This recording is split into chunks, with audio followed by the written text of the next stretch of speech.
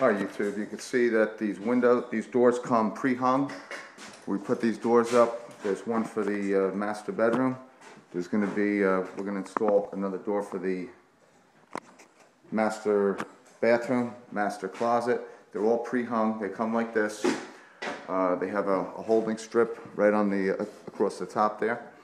And uh, all you're gonna do is basically just take off this, um, this plastic rig and it holds the door in place for shipping. There's another bottom cross brace, top cross brace. We take them out and uh, the door fits right into the well.